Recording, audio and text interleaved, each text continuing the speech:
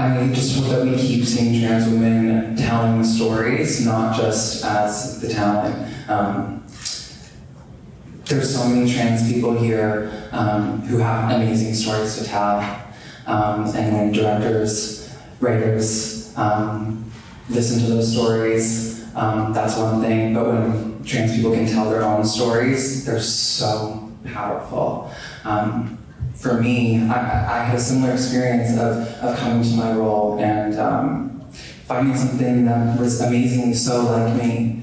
Um, that is really hard to find unless a trans person is writing that trans character. Uh, and I think it's really the reason why the film is here at TIFF.